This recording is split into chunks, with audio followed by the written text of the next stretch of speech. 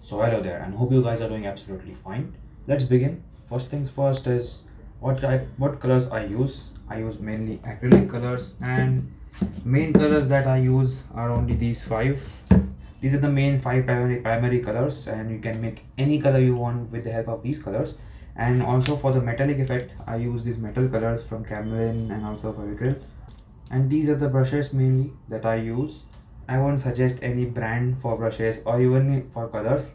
Whichever is convenient for you, you can use it. So I already mixed Fevicryl Mouldit clay. The clay which I use, it's also called as epoxy compound or you can also get it as epoxy clay. In India, Fevicryl makes it and they sell it as Fevicryl Mouldit. So I completely mixed it. And if you want to know more about this clay, I have special two videos dedicated to it. So you can check those out.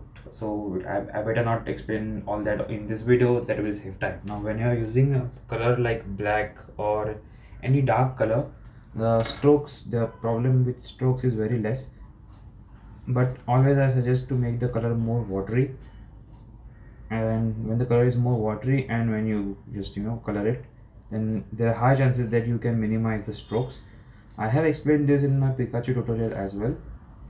Uh, you can surely try this out. Usually when this case doesn't much happen in when you're using darker colors but whenever you're using lighter colors like yellow or white there are high chances that strokes might be visible. So just make the color a little watery and then just keep on adding strokes to it like this. Don't just you know stick a lot of color just don't take a lot of color on your brush or if you're taking a lot of color on your brush then just first you know rub that brush on a paper or some or cloth and then just keep on adding like this. Also in my video also in my beginners tutorial video i had comments that people asked me that whether we can mix this clay and we can add color while mixing this clay. Yes you surely can. You can see. Uh, just we added the black and now we'll just mix it. And even after mixing it very rigorously you can see that it has a very lightish or whitish gray color.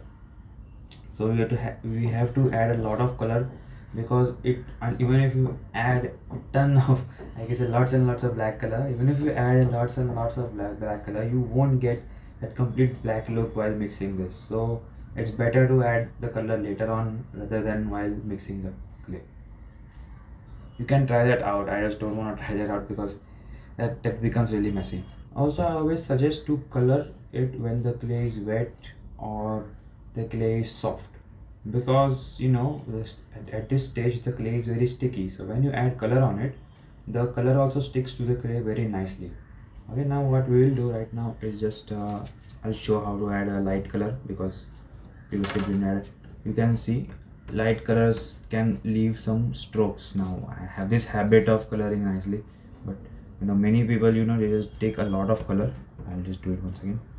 You just take a lot of color and they just keep adding like this which is not a good thing right? You don't get a nice look over here.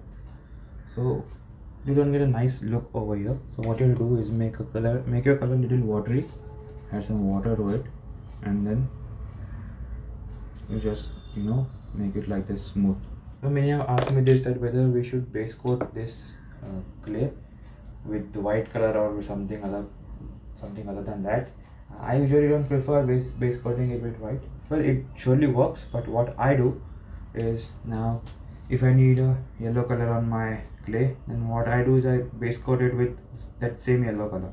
And then later on when it becomes completely dry i add the yellow color once again so that it gets a second layer and it looks more better usually this case is only with light colors. Dark colors usually don't leave much strokes and they also look very nice but light colors they leave strokes and hence they require around two or three coats of layering two or three layers on them or uh, I should say two or three coats on them which which you know which uh, makes them look even more better. Also after coloring when the clay is wet and you can see there are bubbles and you cannot remove these bubbles with the help of brush then what you can do is use a sponge just you know tap the sponge or you can even slide the sponge like this.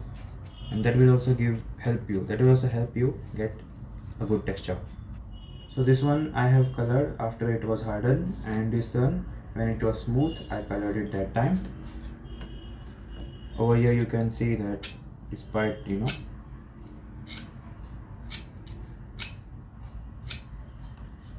You can see that the color can you know get uh, is getting off even by doing like this. But over here when the clay I when I, when I colored it when the clay was you know smooth or wet you can see. It doesn't affect it that much right? And it's just a base coat right? And also if I rub it doesn't come off.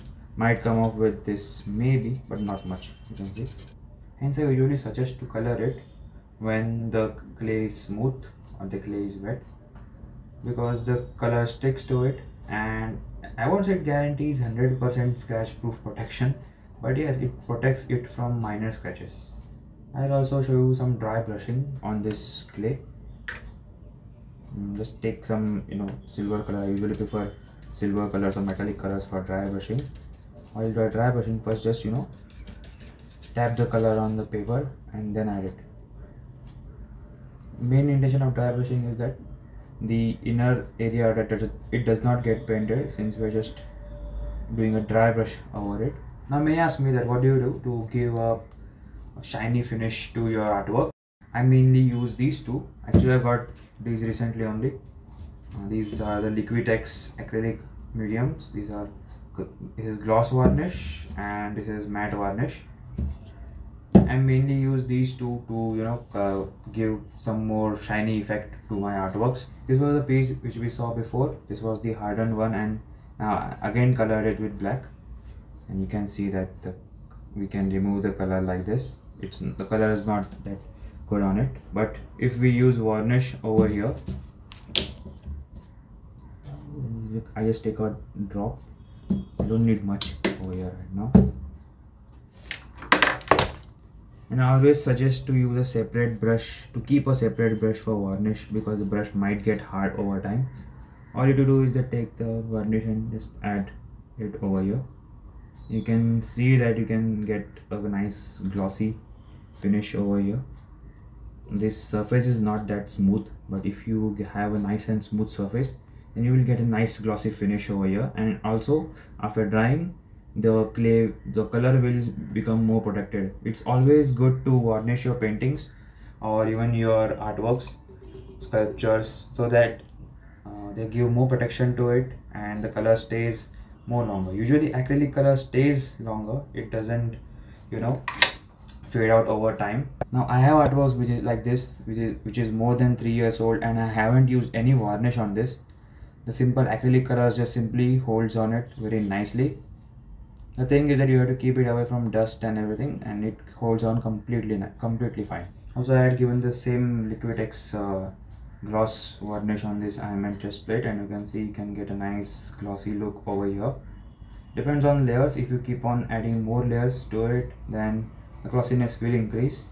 The matte varnish is same uh, but uh, it is little shiny. It is not glossy but it will have a shiny look not a but not a very highly matte look. It will have a little shiny look. That's what i have experienced from this.